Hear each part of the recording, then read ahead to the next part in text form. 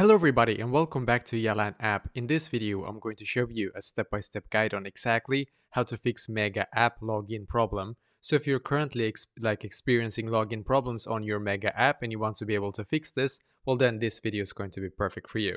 So what I did myself is that I firstly closed my Mega app and then I went into my settings app instead. And in here I scrolled down and I clicked on general.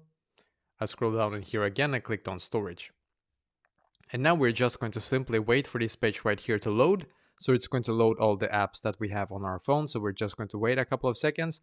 And now in here, I just swiped up like this until I can see the search bar up top, as you can see. So just click on the search bar and then search for Mega in here and click on it.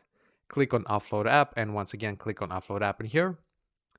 And we're just going to simply wait a couple of seconds here and then click on the blue button here once again and sometimes you need to click on that two times and now just wait for the mega app to completely update to its latest version.